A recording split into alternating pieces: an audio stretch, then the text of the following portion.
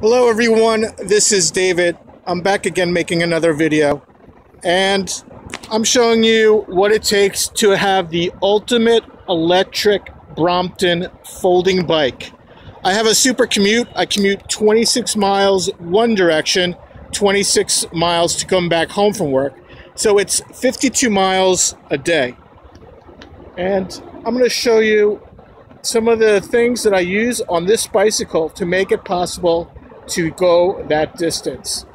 On a regular Brompton, I don't think I would be able to pedal uh, 52 miles a day, 250 miles per week, uh, or 200 plus miles a week, which is standard for my commute. So let me show you what things I use that I have been that I highly recommend. The first thing is is a Brompton T bag you can tell that um, the storage, you can put everything in there. I have a large battery in here, which makes it good. As you can see, I use uh, solid foam tires. These are Tannus tires. And you can see the tread wear right now. This is after 1,000 miles of using these tires. And let me show you my uh, trip distance. I reset this every time I change my tires and this is about the tire wear is about a thousand miles as you can see.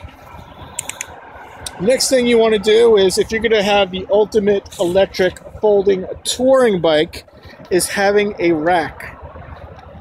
And uh, I'll show you the rack right here. Make sure when you get an electric folding bike you get a rack as well.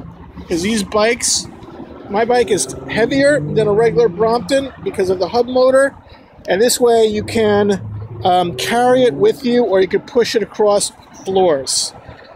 Another thing that I really enjoy that I just started using not uh, from the beginning of this year is this Brompton back rack.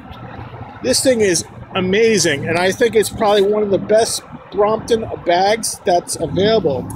You can see here that they use um, YKK zippers if you open it up, you can see that the sides have nice padding on them. You can see that if there's no plastic that they use whatsoever on this. And what I've done here is I've cut a slit and I use what's called XT90 connectors to connect to my battery. So when I'm riding, this thing won't uh, this thing won't pull apart like Anderson connectors. So I use this a lot.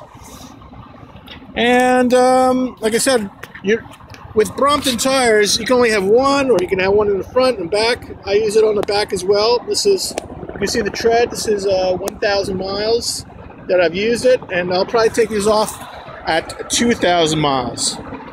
Another thing that's important is probably to have a speedometer here. This way, when you're the ultimate commuter, you can find out what time uh, if you're late to work or not, if you want to even step it out, and also the um, the speed. And if, if you find out that your speed is slow or sluggish, then you know that you probably your bike needs a little bit of a tune-up, or and stuff like that. And um, that's really about it. You need a good bell, and this is the M-type handlebars.